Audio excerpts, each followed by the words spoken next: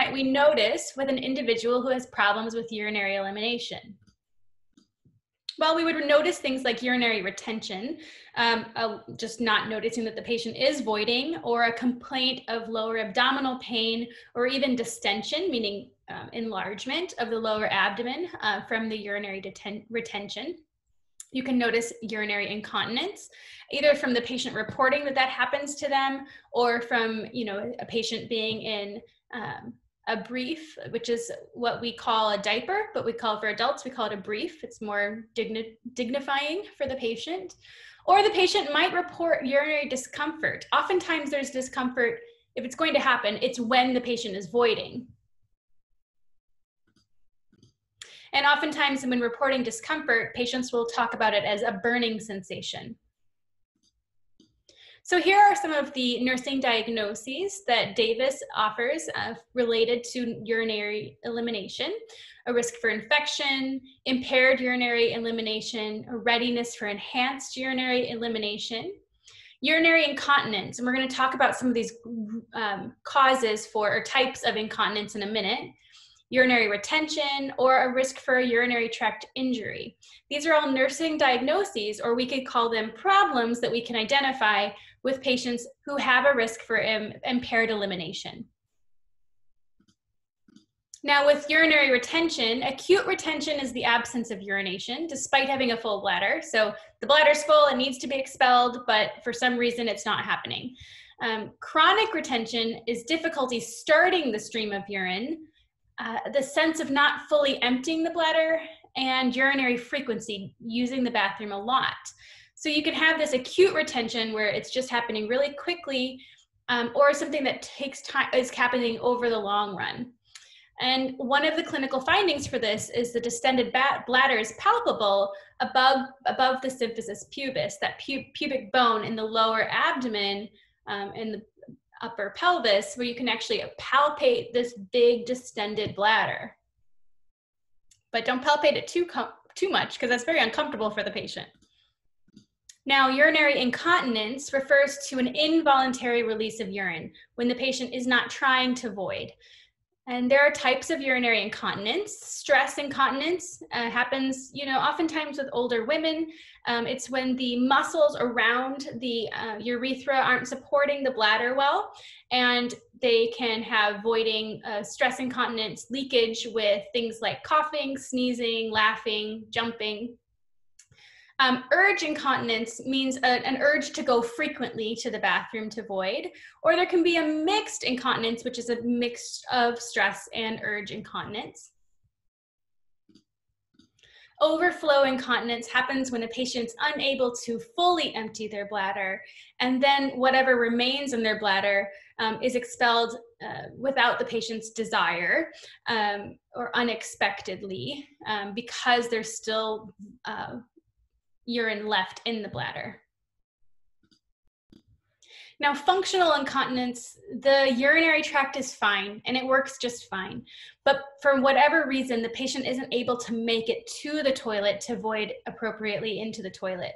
Uh, and it could be things like arthritis or a back injury or um, an inability to communicate that they need to go to the toilet. So these other reasons um, prohibit the patient who has a normally functioning urinary tract um, to make it to the bathroom in time.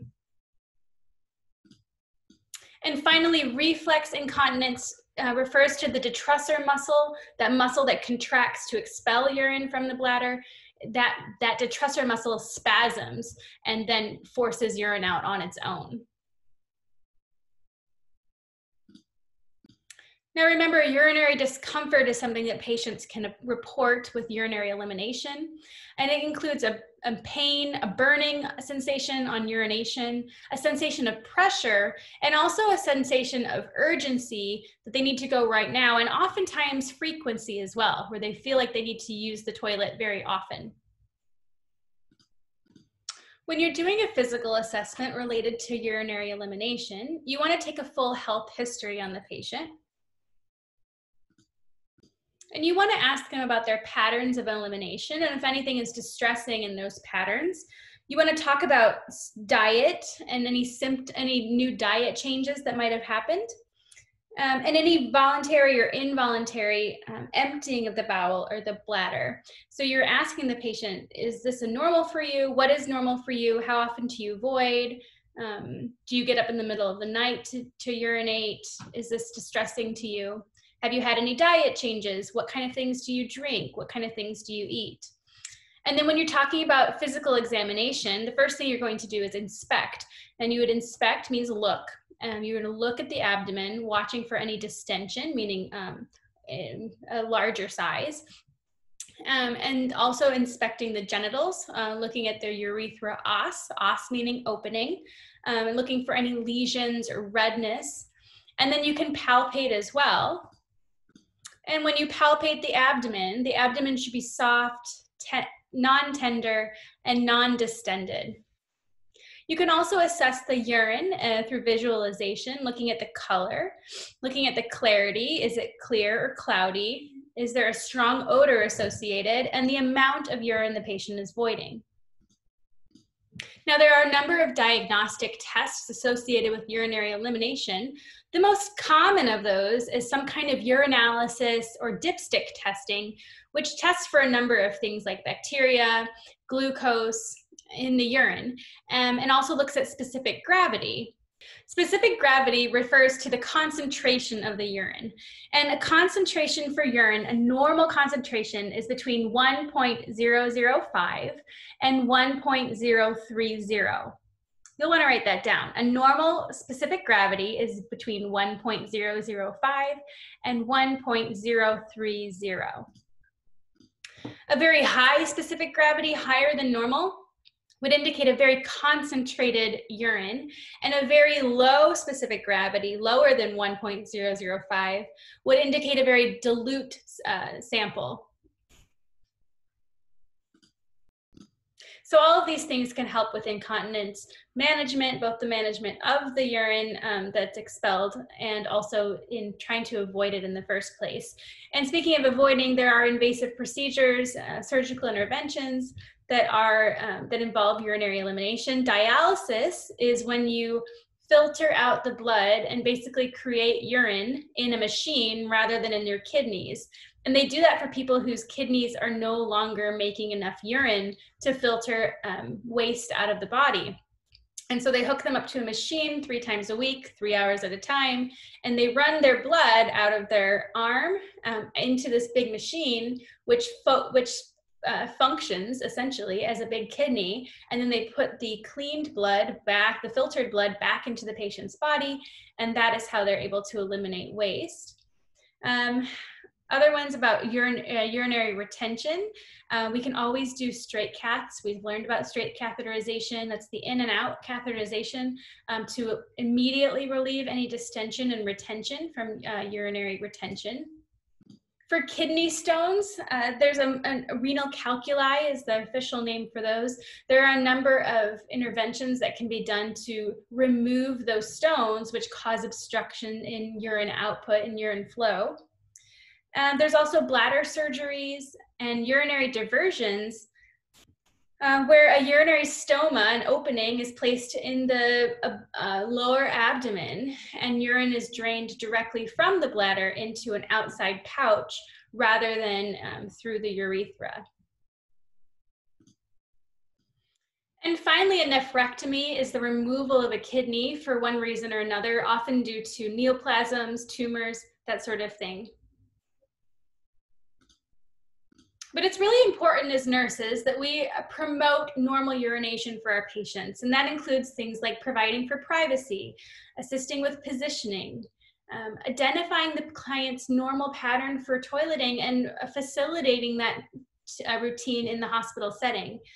Making sure that we're providing adequate, adequate fluids and nutrition, as well as providing for hygiene. In terms of urinary retention, we're going to monitor for abdominal distension that would indicate an over full bladder. We're going to measure for post-void residual. So there's a bladder scanner that we can put right on the skin, and it will measure how much, how many mLs of urine is left in the bladder, which will tell us if we have an overflow problem uh, or a retention problem. And then we need to drain that retained bladder. We need to get that urine out. And we'll do that through things like a straight cath where we put it in, drain the urine and take it right back out, or an indwelling catheter with a drainage bag, or even that suprapubic catheter, the one I talked about where they create an opening in the lower abdomen, a stoma, where urine drains into a bag on the outside of the abdomen.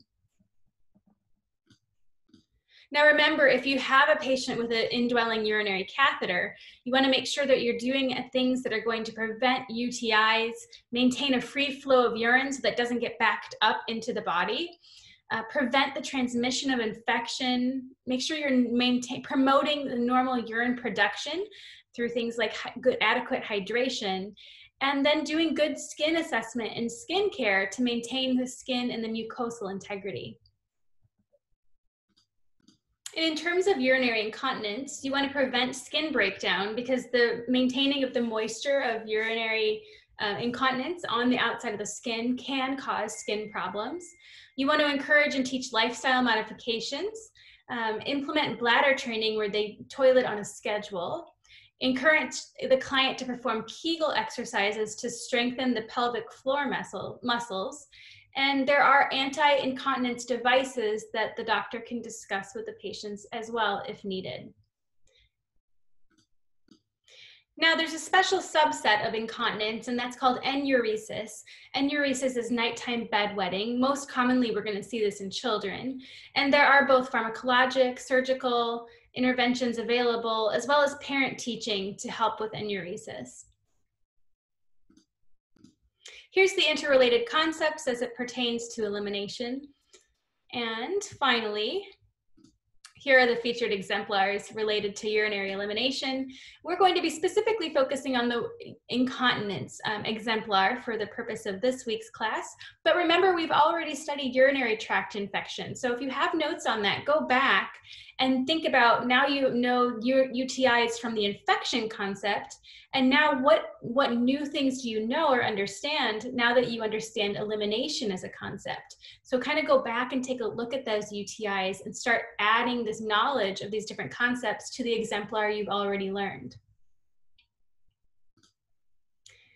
the last slide on your uh, PowerPoint, which you have as well um, in your Blackboard, is just a nice little concept map of some of the key things about this uh, concept, and it's going to pull out some of the most important things you need to see.